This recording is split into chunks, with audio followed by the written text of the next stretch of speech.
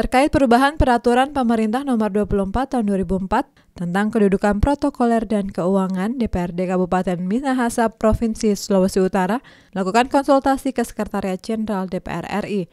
Dalam kunjungan DPRD Kabupaten Minahasa Tenggara ke Sekretariat Jenderal DPR RI, Jakarta baru-baru ini Deputi Bidang Administrasi Sekretariat Jenderal DPR RI, Ahmad Junet mengatakan bahwa konsultasi yang berlangsung membahas sejumlah poin perubahan termasuk hak-hak protokol dan keuangan antara anggota DPR RI dengan DPRD di daerah.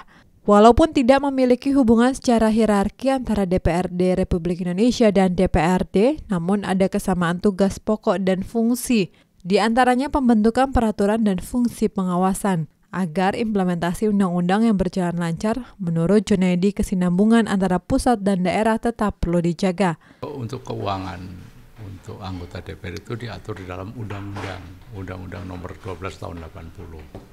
Sedangkan untuk DPRD itu diaturnya dalam peraturan pemerintah, peraturan pemerintah nomor 24 tahun 2004 yang telah melakukan perubahan beberapa kali. Jadi memang uh, ada keluhan dari apa namanya dari DPRD setelah uh, terbitnya Undang-Undang Nomor 23 ya bahwa DPRD dianggap sebagai pejabat daerah, tapi peraturan pelaksanaan itu belum bisa dilaksanakan sepenuhnya.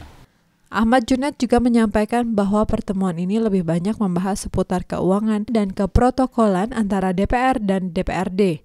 Ya kita sampaikan karena memang peraturan berbeda tidak bisa bahwa hak hak keuangannya itu akan sama itu tidak bisa.